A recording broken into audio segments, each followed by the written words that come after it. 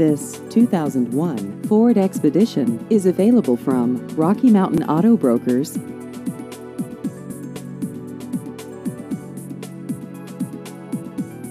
This vehicle has just over 127,000 miles.